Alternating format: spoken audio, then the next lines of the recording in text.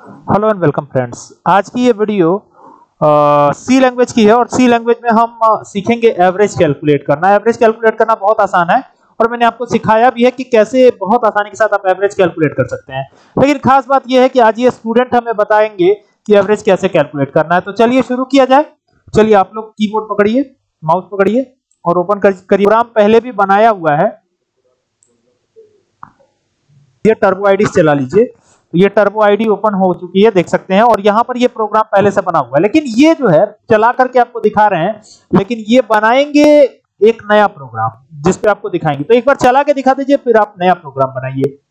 ये चल गया सक्सेस हो गया और यहाँ से ये आ, हो गया। अब यहाँ पे कुछ नंबर एंटर करना है जैसे फाइव टू एंटर किया थ्री फोर फाइव सिक्स देखिए इसका एवरेज आ गया ठीक है? अब ये कैसे पता कि सही है? थ्री में टू ऐड कीजिए, फाइव होगा, फाइव में फाइव ऐड कीजिए, टेन होगा, सिक्स होगा, सिक्सटीन, और फोर ट्वेंटी हो जाएगा, और ट्वेंटी कुल मिलाकर के फाइव से डिवाइड करेंगे तो फोर टाइम में डिवाइड हो जाएगा, और एवरेज आपका फोर आ जाएगा। तो इसीलिए मैंने छोटा नंबर ही रखा है, ठीक है? तो ये हो गया। अब क्या करना है हमें? अब हमें नया प्रोग्राम बनाना है। तो ये नया प्रोग्राम बनाओ जी। नया प्रोग्राम ये बनाएँगे तो इसके लिए न्यू फ़ाइल लेंगे। कैसे प्रोग्राम बना रहे हैं? ध्यान से देखिए आप। सबसे पहले मेन फ़ंक्शन बनाया, यहाँ पे करली ब्रेसेस ओपन किया। और करली ब्रेसेस को ओपन करने के बाद यहाँ पे इंटीजर टाइप का डेटा टाइप है ठीक है? और यहाँ पर आई लिया यहाँ पे एक ई नाम से एरे बना है जिसका यहाँ पे फाइव ही रखो ज़्यादा बड़ा मत रखो ताकि फोर रख दो फोर फोर रख दो सही है। फोर रखेंगे तो फाइव नंबर एंटर होंगे क्योंकि एरे की साइज़ जो है आ, हम हमेशा एरे की इंडेक्सिंग ज़ीरो से स्टार्ट करते हैं तो इसके वजह से ही है। और फिर एक लूप चलाने के लिए आई और फिर एक और वेरिएबल सम नाम से बना लेते हैं जिसमें ज़ीरो इनिशियलाइज कर लेते हैं और इसको टर्मिनेट कर देते हैं। टर्मिनेट करने के बाद क्या करना है? यहाँ पे फ्लोट टाइप का एक और वेरिएबल बनाना है, क्योंकि एवरेज फ्लोट में भी आ सकता है। तो यहाँ पर एवरेज भी बना लिया हमने, ठीक है? यहाँ तक तो बात समझ में आई होगी। अब यहाँ पे प्रिंटअप लिखेंगे ये, और प्रिंटअप लिखने के बाद चलो यहाँ पे enter five numbers five numbers तो ये फाइव नंबर हो जाएँगे, ठीक है? तो पाँच नंबर ये एंटर करेंगे, और पाँच नंबर एंटर करने के बाद, क्योंकि यूज़र एंटर करेगा तो स्कैनअप लिखना ज़रूरी ठीक है? उसके पहले हम फॉर लूप लगाएँगे, ठीक है? तो यहाँ पे for i i is equal to i को इनिशियलाइज करेंगे। आई में ज़ीरो इनिशियलाइज कर दिया, फिर i is less than equal to four करेंगे, ठीक है ना? और यहाँ पे टर्मिनेट करके और आई प्लस प्लस यानी आई को इंक्रीमेंट करेंगे। फिर नीचे आएँगे, अब यहाँ स्कैनअप लगाएँगे। अब वो वैल्यू स्कैनअप में आ जाएगी, ठीक है? जो यूज़र एंटर करेगा यहाँ परसेंट डी और यहाँ पे क्या करेंगे? यहाँ पे address of a i address of a i, okay? तो ये हो जाएगा। अब आई जो लूप चलेगा, उसके हिसाब से यहाँ पे चीज़ें स्टोर होती रहेंगी। और यहाँ पे फॉर लूप लगाइए। और यहाँ पे लिखिए i is equal to zero i is less than equal to four i plus plus ठीक है? तो ये हो जाएगा, ठीक है ना?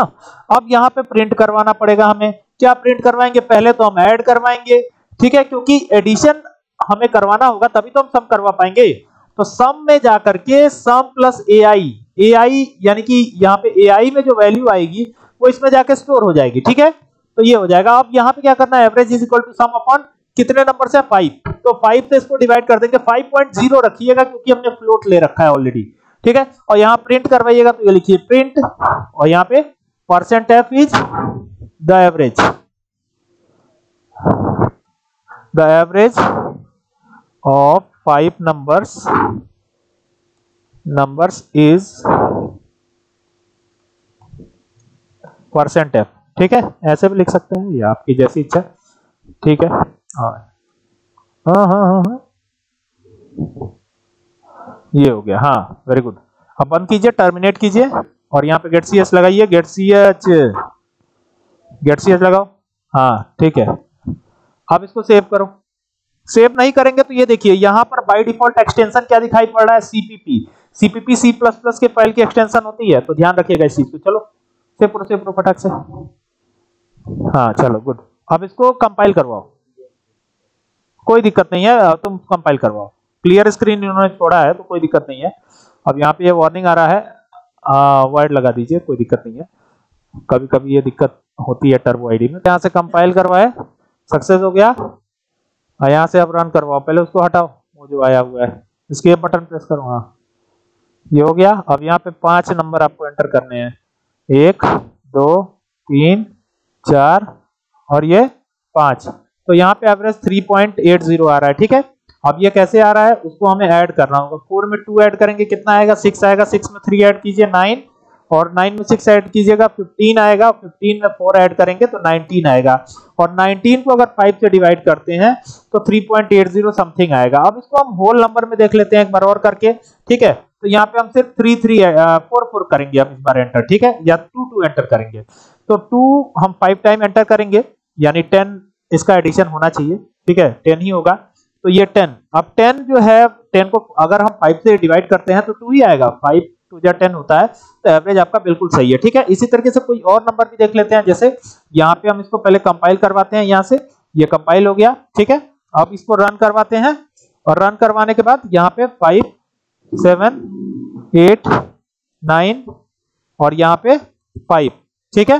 तो यहाँ पे देखिए सिक्स आ रहा है, ठीक है? तो उम्मीद करता हूँ ये बात समझ में आई होगी।